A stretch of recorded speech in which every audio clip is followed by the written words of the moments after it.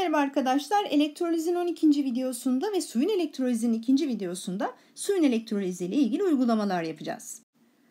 Dolayısıyla bu videoda suyun elektrolizi ile ilgili görebileceğiniz uygulamalar neler olabilir, hangi tür örnekler olabilir bunları öğreneceksiniz. İlk örneğimizle başlayalım. Der ki Hoffman voltametresi ile bir miktar su elektroliz ediliyor ve katotta 80 santimetre küp gaz toplanıyor. Buna göre elektroliz sırasında anot ve katotta hangi gazlar toplanır? Anotta toplanan gazın hacmi kaç santimetre küptür? Şimdi bunun için ayrı ayrı anot ve katot tepkimelerini yazmanıza gerek yok. Direkt suyun elektrolizi tepkimesi üzerinden sorumuzu çözebiliriz. Suyun elektrolizinde su, hidrojen ve oksijen gazlarını ayrıştı. Sonra tekrar hatırlayalım. Daha önceki videoda vardı ama Suda hidrojen artı 1, oksijen eksi 2 yükseltgenme basamağına sahip ve bunlar sıfıra, e, sıfır yükseltgenme basamağına geliyorlar. Demek ki artı birden sıfıra hidrojen indirgendiğine göre katotta toplayacağımız hidrojen gazı olur. Katotta indirgenme vardı. Eksi 2'den sıfıra oksijen yükseltgendiğine ve yükseltgenme anotta olduğuna göre anotta da oksijen gazını toplayacağız. Yani elektroliz sırasında katotta hidrojen gazı, anotta oksijen gazı toplanıyor. Bunu direkt dediğim gibi suyun elektroliz tepkimesi üzerinden yazabilirsiniz. Ayrı ayrı anot katot tepkimelerine ihtiyacınız yok. Sonra bize katotta 80 santimetre küp gaz toplandığından bahsetmişti. Şimdi toplanan gaz hacimleri kat sayılarıyla doğru orantılıdır. Aynı oran, e, ortamda hacim mol ile doğru orantılı olduğu için. Yani her e, şöyle yazayım. V hacim hidrojen gazı toplandığında V bölü 2 hacimde oksijen gazı toplanıyor.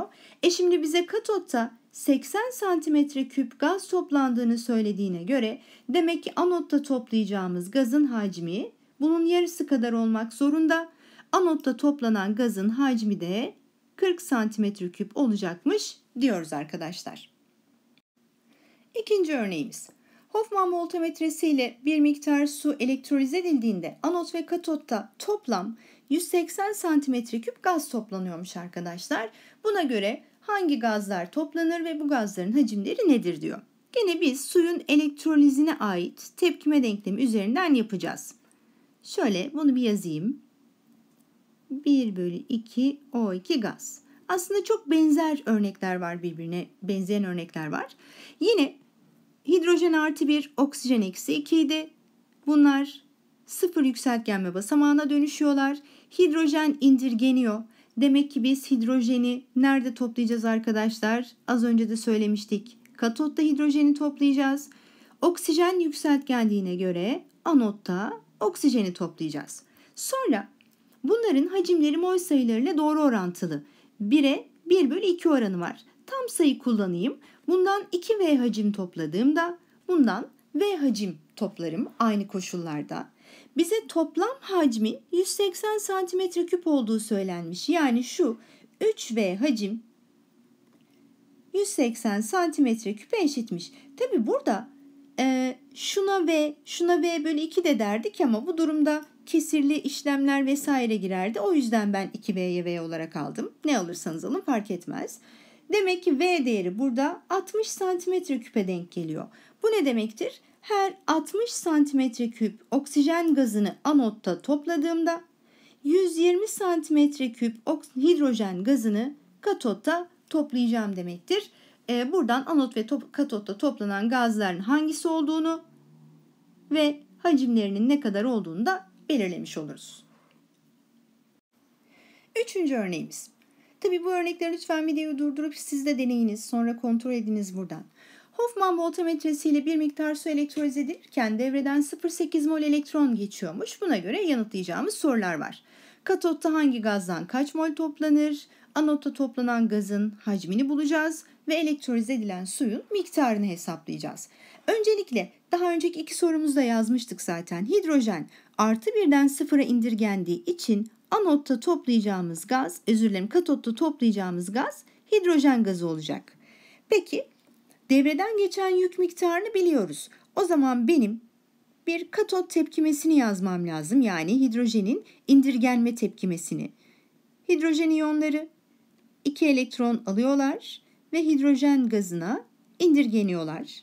Devreden her 2 mol elektron geçtiğinde 1 mol hidrojen gazı topluyoruz. Şimdi devreden 0,8 mol elektron geçtiğine göre toplayacağımız hidrojen gazının 0,4 mol olduğunu belirliyoruz arkadaşlar. Yani katotta indirgenme olduğu için biz 0,4 mol hidrojen gazını topluyoruz. Anotta toplanan gaz normal koşullarda kaç litre hacim kaplar diyor. Arkadaşlar B'yi çözerken iki şekilde çözebilirsiniz. Birincisi hiç e, daha önceki videoda vardı. Anotta e, su moleküllerinin elektrolizinden oksijene ulaşıyorduk. Onu bilmenize gere bile gerek yok aslında. Bakın şöyle yaparsınız. En basiti H2O sıvısını ayrıştırdığımda ben hidrojen gazına ve oksijen gazına ayrıştırıyorum. E devreden anot ve katottan geçen yük miktarı eşit. Eğer ben katotta 0,4 mol hidrojen gazı toplamışsam 1'e 1 bölü 2 oran olduğu için anotta 0,2 mol oksijen gazı toplarım ki bunun da normal koşullardaki hacmi 1 mol 22,4 litreydi hatırlayınız. 0,2 22,4 ile çarptığımda 4,48 litre olur. 4,48 litre oksijen gazı toplanır normal koşullarda. Ya da dediğim gibi ben elektroliz denklemini de bilmek istiyorum derseniz H2O molekülleri elektroliz oluyordu. 1 bölü 2 O2 artı 2 elektron artı 2H artı. Bu anot tepkimesiydi. Her 2 mol elektron geçtiğinde bakınız 0,5 mol oksijen gazı topluyoruz. E devreden 0,8 mol elektron geçtiğinde bunun dörtte biri 0,2 mol oksijen toplanır. Bakınız ne oldu? Aynı şeyi bulduk.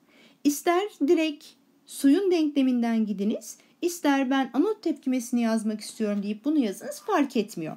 Ama şu daha basit olanıdır. Daha kolay işlem yapabileceğiniz şeklidir. Şimdi C'ye geldiğimizde elektroliz edilen suyun kütlesini bulacağız. Biz suyun elektroliz denklemini zaten yukarıda yazmıştık ama aa, yazma varmış B'de. Olsun bir daha yazayım. Denklemimiz şu. E şimdi neyi bulduk? İster oksijenden ister hidrojenden gidin. Bundan 0,4 mol toplandığını bulmuştuk. Hatta bundan da 0,2 mol toplandığını bulmuştuk. O zaman elektroliz edilen su da yine 0,4 moldür. Bakınız suyun mol kütlesi 18. O zaman 0,4 ile 18'i çarptığımızda da elektroliz edilen suyun kütlesinin 7,2 gram olduğunu buluruz. Bu da C seçeneğimizin yanıtı olur arkadaşlar. Bu videoda son örneğimiz. Bir miktar su 3860 e, klonluk yükle elektroliz ediliyormuş arkadaşlar. Buna göre diyor devreden şu kadar mol yük geçer, e, katotta şu toplanır, anotta şu toplanır vesaire vesaire. Aslında burada Faraday'ın elektroliz kanunlarından da biraz söz ediyor olacağız. Ve 1 mol elektronu da 96500 kulom olarak kullanacakmışız. Pekala. Öncelikle madem 1 mol elektron sevgili arkadaşlar 96500 kulom olarak kabul ediyorsam devreden geçen 3860 klonluk yükün kaç mol elektrona denk geldiğini bulmamız lazım. Ki bu da 0,04 mol elektron demektir. Dolayısıyla birinci if yargımız doğru. Katotta hidrojen mi toplanır? Az önceki videolarımızda vardı zaten. Suyun yapısında hidrojen artı 1'di. Sıfıra indirgeniyordu. O yüzden katotta hidrojen gazını topluyoruz. Bu doğrudur. Anotta toplanan gazın normal koşullardaki hacmi. Şimdi burada anot tepkimesini yazarak bulabilirsiniz. Şöyle yazayım. Az önce yazmıştık zaten.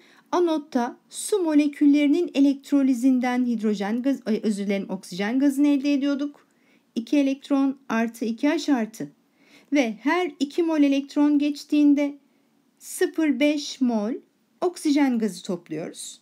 Şimdi devreden 0,04 mol elektron geçtiğine göre bunun dörtte biri 0,01 mol oksijen gazı toplanır. Bunun normal koşullardaki hacmi çarpı 22,4 deseniz 0,224 e, litredir. 1000 ile çarptığımızda da 224 mililitre ki 1 mililitre 1 santimetre küp olduğu için 224 santimetre küpe eşit olur. Yani üçü de doğru olur. Ha, anot tepkimesini hatırlamıyorsanız sevgili arkadaşlar onu da göstereyim. E, katotta hidrojenin indirgenmesi var. Bunu hatırlamak daha kolaydır çünkü. Bunu yazarsınız. Devreden 0,04 mol elektron geçtiğinde 0,02 mol hidro, e, hidrojen gazı toplanır dersiniz. Sonra suyun elektrolizi sırasında bunların 2'ye 1 oranında toplandığını, 0,02 mol'e karşılık 0,01 mol oksijen gazı toplandığını bu şekilde de yapabilirsiniz. Eğer anot tepkimesini hatırlamak size zor geliyorsa yani her koşulda hidrojenden giderek de devreden geçen yük miktarı eşit olduğu için tabi burada bir iki basamak işlem yapıyor, yapılıyor ama olsun bu şekilde de çözebilirsiniz. Dolayısıyla burada her üç yargımız da doğrudur arkadaşlar. Bu videomuzda suyun elektrolizi ile ilgili örnekler çözdük. Görebileceğiniz örnekler bunların üzerinden döner zaten arkadaşlar. Diğer videolarda görüşmek üzere.